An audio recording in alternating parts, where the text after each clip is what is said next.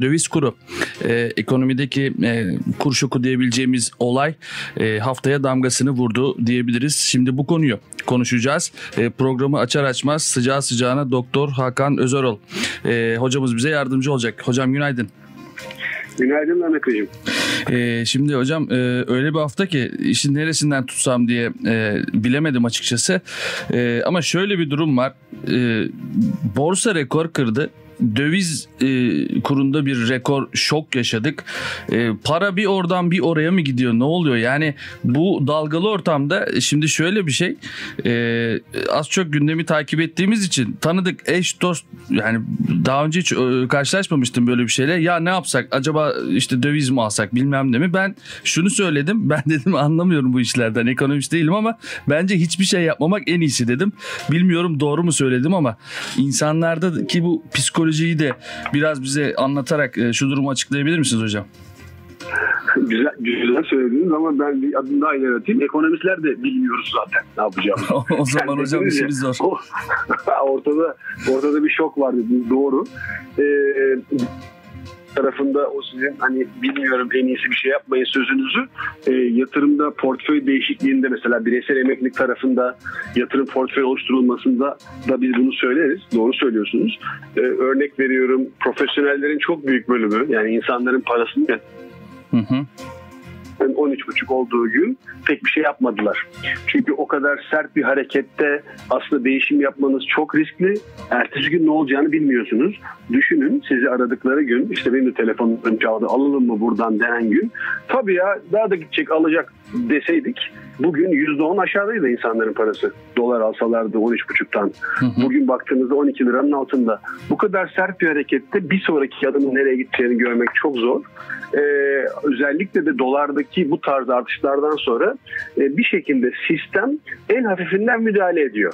Biz ona sözlü müdahale ediyoruz. Bakın 13.5'a geldikten sonra çok hızlı iki tane sözlü müdahale haberi geldi. Yani bir tanesi şeydi.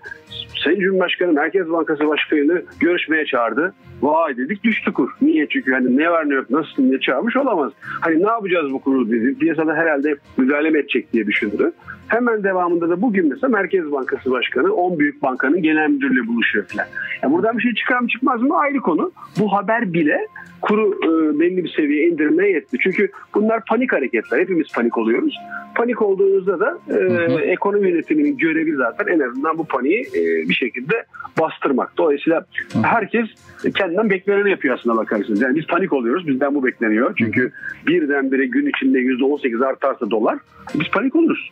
Yani yüzde on sekiz dediğimiz e, bir yılda e, mevduatta kazanamadığımız bir e, para bir günde oldu. Hocam dolarda. bu dalgalı kur rejimine Türkiye geçtikten sonra yani e, nere kaçıncı sırada bir şeydir bu şoktur? Şöyle kurları dönemleri ayırabiliriz ama mesela 2001'den bu yana en yüksek bir kere. Yani son 20 yılın en yükseği zaten bu. E, artı 2001'i ölçmek de biraz problemli. Demin söylediğiniz gibi dalgalı kurla mıyızdık? Yani o gün çünkü devalüasyona izin verilmek zorunda kalınmıştı. O hareketten sonraki en büyük e, yani tarihteki en hızlılardan bir tanesi ve dediğiniz gibi bu seferki sorun dalgalı kura geçiş olduğu için hani o gün %18 arttı. Ne bileyim %23 artmasını engelleyen neydi ki? Yani daha da çok artabilirdi. Onun için büyük belirsizlik zaten bu. Yani devlet bir gün kalkıp ben kuruşu yaptım dese eski modellerde öldük bittik ama evet artık kur bu diyecektik. Şimdi 13,5 olduğunda ertesi gün 15 olabilirdi. Olmadı çok şükür ki 11.95 oldu. Daha büyük sorun aslında artış hareketinden çok e, tümüyle belirsizlik olması. Mesela bugün düştü hı hı. ve haftaya ne olacağını bilmiyoruz aslında Değil mi? Yani Tam bu sorun sabit, sabitlenememesi galiba değil mi? Çünkü ben e, gazetelere bakınca firmalar, sektör temsilcileri ya biz bütçe yapamıyoruz. Yıl sonunu e, kapatamıyoruz, muhasebeleştiremiyoruz. E, sabit bir şey istiyorlar aslında. Yani e, ben böyle anladım. Ee, çok haklısınız. Yani hepimiz için öyle değil mi? Düşündüğünüzde siz e, yayınlar yapıyorsunuz. Bazı teknik cihazlara ihtiyacınız var. E şimdi o cihazı satan adam da bir yerden ithal ediyor. Bizim memleketteki teknolojik ürünlerin büyük bölümü ithal. E şimdi şöyle bir şey de olmuyor. O da başka türlü bir sıkıntı. Bu medya e, şey e, teknoloji marketler yurt dışından 300 dolara aldığı bir şeyi vitrine 330 dolar diye koysa diyeceğiz ki bu ne kardeşim Türkiye değil burası ya olur mu böyle şey diyeceğiz. TL koy diyeceğiz. Adam diyor ki 300 dolara aldım. 300 doları çevirdim. E, 3000 liraydı. Hı hı. E şimdi buraya 3300 lira yazdım ama dolar şu anda 13 lira. Ben bunu satsam yenisini 4000 liraya alacağım. O zaman satmam diyor ki bazı teknomarketler bunu yaptı. Bazı markalar direkt yaptı yani. Satışını durdurdu. Dolayısıyla haklısınız. E, fakat bunun çözümü şu değil tabii. O zaman hükümet kurları sabitlesin. Böyle bir erkimiz yok. Yani dalgalı kur rejimindeyiz birincisi. Daha da ötesi. Biz vazgeçtik bu sistemden kardeşim. Kuru sabitleyeceğiz. Hani bazı izleyicilerimizin aklına gelebilir. Bunu sabitleyeceğiz diyebilmenizin yolu da çok yüklü miktarda döviz rezerviniz olmasını gerektiriyor. Bunu yapabilecek ülke sayısı çok az dünyada. Hı hı. Yani yapanlar ya biraz daha kapalı ekonomiler bir kısmı zaten dünyanın en büyük rezervine sahip ülkeler ne bileyim Çin gibi bir dönem için Azerbaycan gibi. E, biz zaten bir taraftan döviz rezervimiz yok derken insanlara istediğiniz kadar TL getirin size 10 liradan vereceğiz diyemeyiz ki. Dolayısıyla o bizim için kapalı bir yol. Hı hı. E, geriye de bu nasıl sabitlenir? Hepimiz güvenirsek yani hep beraber dolar almaya koşmazsak. Bundan 3 ay önce niye stabildi? Hı hı. Siz satıyordunuz Mehmet Bey ben de alıyordum. Ama bugün herkes aldığı için kur doğru geldi. Yani hikaye bu. Ya e, hocam şu var. İşte operasyon çekiliyor. İşte birileri büyük balinalar, büyük e, şeyler, bilmediğimiz odaklar bu işi oynuyor filan. Yani böyle yorumlar okuyorum ben ama e, ne dersiniz hocam? Bu işi bir niye uzlaşıya varamadık yıllardır? Yani atıyorum 5 yıl önce niye böyle bir şey yoktu da niye şimdi oluyor? Bunun yanıtını nasıl vereceğiz? E, Valla şimdi aslında elimizde çok şükür ki data var. Yani biraz böyle e, dönüp de 3-5 haber e, yok, yoklasak. Bakın şöyle oldu. E, Eylül ayında Merkez Bankası e, faiz indirdi. Ve piyasalar aa niye indiriyorsun ya zaten Türk lirası faizler çok düşük. Millet Türk lirasından memnun değil ki döviz alıyor. Türk lirası faizi daha da düşerse millet döviz alır diyordu. Merkez Bankası faizi indirdi buna rağmen. İndirince o günden beri de kur artıyor. Yani aslında ortada böyle e, şeyler de belli, mihenk taşları da belli yani. Merkez Bankası faiz indirdi, kur artmaya başladı. Hatta Sayın Merkez Bankası Başkanımızın 11 Ekim'de bir açıklaması var. Bu kur artışının bizim faiz indirimimizle direkt ilgisi yok dedi.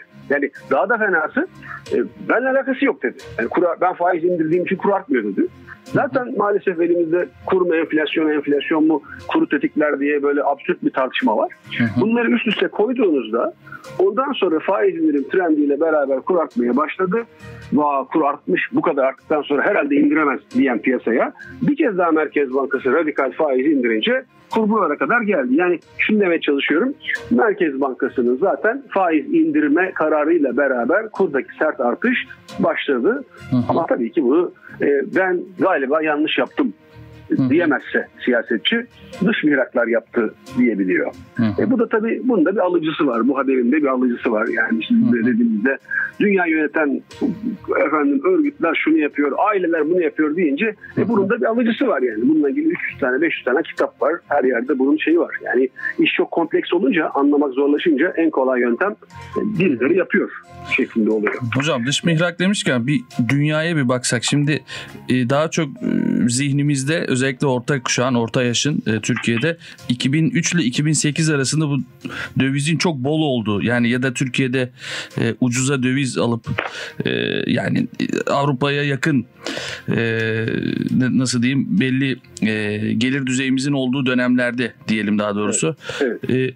hafızalarda bu var. Yani altın çağ gibi. Fakat dünya şu anda öyle bir yerde mi? Nereye gidiyor dünya? Şimdi bu anlattığınız dönem tabii yani bir kere Türkiye'nin krizden çıkış dönemi. Yani biz bugün bir krizdeysek bu kriz bittikten sonra takip eden 3 yıl yine öyle olacağız biz zaten. Yani bu kriz de bittiğinde bir bolluk dönemi olacak. Çünkü şöyle oluyor. Yani oradan başlayalım izin verirseniz. Yani Türkiye niye o gün iyiydi? Bir, 2001 krizinin çıkışıydı. Yani en kötü geride kalmış ve artık toparlamaya başlamış. İki, siyasi istikrar geldi. Bak yeni bir parti geldi. Önceki işte koalisyon yönetememişti, krize götürmüştü. Bak yeni parti geldi e, umudu vardı. Arkasından 11 Eylül saldırısının devamıyla ilgili Amerika'nın dünyadaki kurmaya çalıştığı yeni düzen ve para bolluğu vardı. Şimdi bunların hepsi birleştiğinde yani siz bir kere bir kriz çıkışında zaten bolluk, bolluk yaşıyorsunuz. Hani hastalığı atlattıktan sonraki kendinize iyi geldiğiniz birkaç ay gibi düşünün. Hı hı. E, artı Türkiye'ye bir e, güven gelmiş hükümet değişikliğiyle beraber ve dünyada bol para var. Bu arada Türkiye'deki hükümet değişikliğiyle beraber gelen hükümet de e, özelleştirmeye falan çok sıcak bakıyor. Yani AKP'nin ilk yıllarına baktığınızda hı hı. E, biz her şeyimizi hani kötü amaç söylemiyorum bir politika kararıyla sattık. Ne demek? Ülkeye döviz girdi. Yani siz özelleştirdim şu şirketi 3 milyar dolara dediğinizde ülkeye 3 milyar dolar para girdi. Bakın biz bugün ne konuşuyoruz? Abu Dhabi inşallah 10 milyar getirecek aman Allah'ım diye kur düşüyor. Biz orada bir kurumumuzu sattık 3 milyara 4 milyara. Ve bunun gibi onlarca kurum sattık. Özelleştirme yaptık falan. Bunların sonucunda ülkeye döviz girişi oldu. İhtiyacımız üzerine döviz girdiği için de o anlattığımız yıl sanıyorum 2009'a kadar falan kur neredeyse sabit kaldı zaten. Çok uzun süre boyunca. E, o zaman da sizler ben şunu yaptık. Döviz girişi var bol zaten. O zaman ben şu havalı cep telefonunu alabilirim dedik. Şu arabayı alabilirim dedik. Onlar gibi refahımız olduğu dediğimiz dönemde buydu.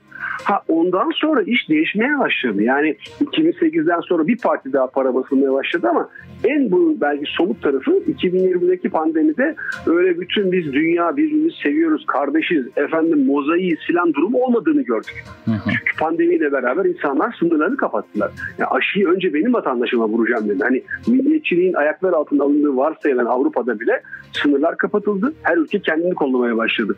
O zaman modelin değiştiği bir yerde ve aynı hızda paranın basılsa bile bunun öncelikleri değiştiği bir dönemdi. Bugün daha da ileri bir aşamadayız. Amerika artık piyasaya vermekte olduğu dolar miktarını azaltmaya başladığını konuştu. Bir önceki nesle konuştuğumuz tapering dediği şey bir önceki yayınımızda. Ee, yani artık Amerika verdiği dolarların miktarını azaltıyor. Önümüzdeki Nisan-Mayıs gibi de yeni dolar verilmeyecek. Yeryüzündeki maksimum dolar miktarına ulaşacağız.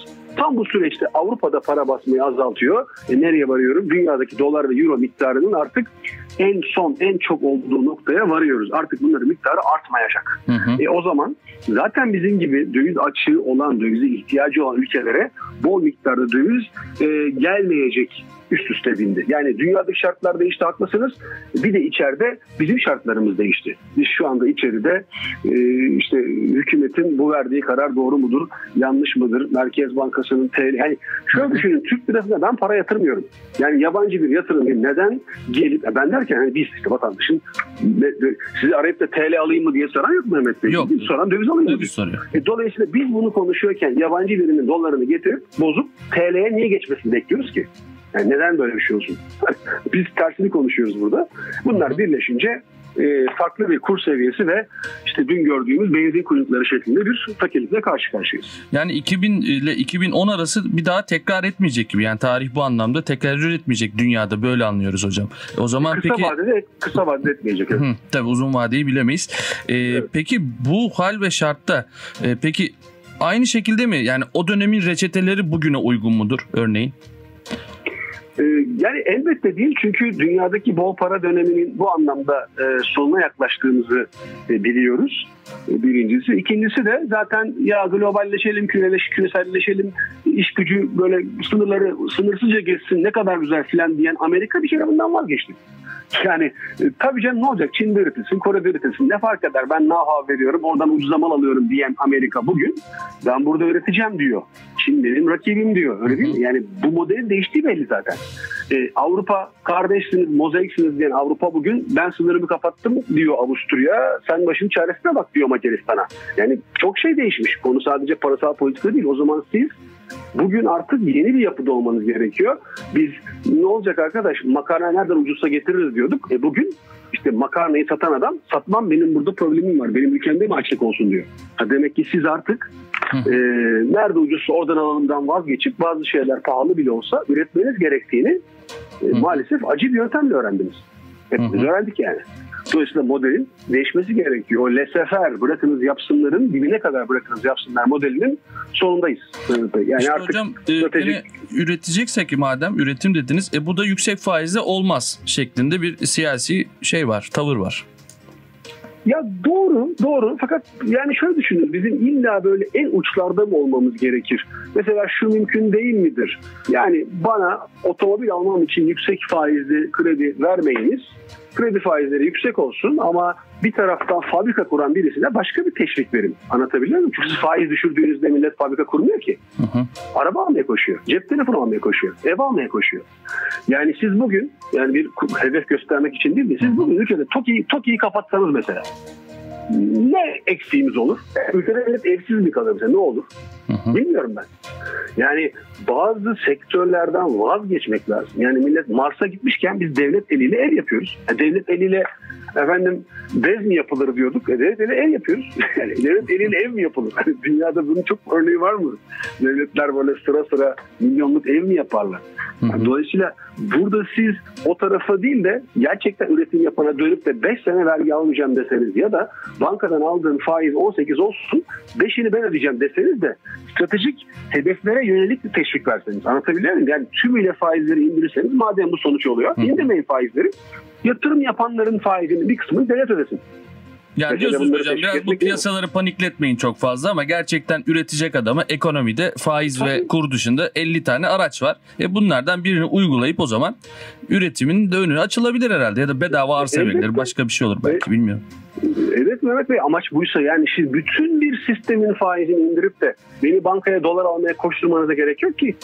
Siz kim yapacaksa ona teşviğinizi verin. Onun indiriminizi yapın, ona desteğiniz olun ama biz memlekette de bir yani ülke topraklarının maalesef yakın geçmiş kültürüne istinaden burada güvenemeyeceğiz değil mi? Diyeceğiz ki acaba kime teşvik verecekler diyeceğiz. Yani problem aslında kendimize güvenmiyoruz yani. Yoksa hı hı. Hani, niyet iyi olduktan sonra ne olacak? 40 tane yöntem buluruz. Ama bu yarattığınız buna yol açmıyor. Yani faizince ben ev almaya koşuyorum. Kimseye faydası olmayan bir şey yani. Hani müteahhitten ev alsam yine sıfır ev. Hani sizdeki ev alıyorum. Mesela bu teşvik de bana ilginç geliyor. Faizleri düşürelim ki evet millet ev alsın. Mehmet Bey evini satıyor. Hakan Bey alıyor. Hı hı. Şimdi bunun ekonomiye ne faydası var? Nasıl Benim bir katma değer para... ürettik hocam burada? İşte aşağı yukarı bütün evler e, biraz kullanılan malzeme dışında aynı teknikle yapıyor. Yani bir muazzam bir şey yok sanırım. Tabii. Hayır Mehmet Beyciğim ev sıfır olmasın dedi. Sizin 10 yıllık evinizi ben Hı-hı. aldığımda bu ekonomi hiç faydası yok ya. Benim cebimdeki para sizin cebinize geçiyor. Sizin tapu benim üzerime geçiyor. Biz ne yaptık şimdi? Boş iş yani anlatabiliyor muyum? Yani bunu sağlayacağımıza, bunu teşvik edeceğimize konut kredisini örnek veriyorum yıllık bazda 15 derseniz de fabrika kuran 12 dersiniz başka yöntemlerle. Dolayısıyla yani yapılabilir. Hani tek akıllı ben miyim anlamında söylemiyorum ama e, biraz niyet, biraz vizyon her şey yapılır yani. Büyük olan doğru kararı vermek, vizyon olması, iyi niyet olması diye düşünüyorum. Hocam e, son o zaman şu konuda da bir öngörü e, isteyeceğim. Daha önce konuştuğumuzda bundan 2-3 ay önce yani yüksek enflasyona alışmamız lazım demiştiniz. Dünyadaki koşulları ve bizim özel koşullarımızı göz önünde tutarak. Bir de buna yüksek döviz kurunu mu ekleyeceğiz hocam? Ee, güzel söylediniz.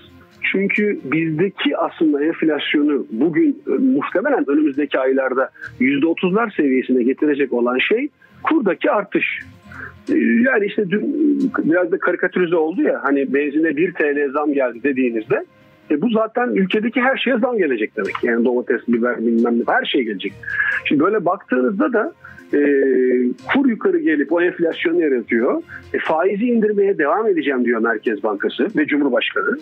E, o zaman yani faizi indirmeye devam edecekse biz de kurun artacağını biliyorsak o zaman evet kur faiz biraz daha aşağı gelecek, kur daha yukarı gelecek. Bunun sonucu olarak enflasyon da daha yukarı gelecek. Biz muhtemelen önümüzdeki yılın ilk çeyreğinde bu anlamda rekorları görürüz diye tahmin ediyorum.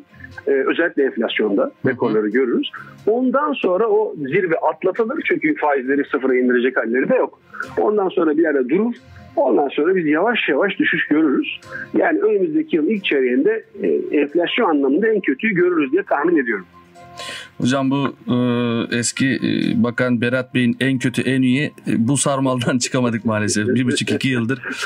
Bakalım daha neler göreceğiz diyelim hocam. Çok sağ olun. Ben teşekkür ederim. Sağ olun Mehmet Bey. İyi Sağ olun hocam. İyi müzik, doğru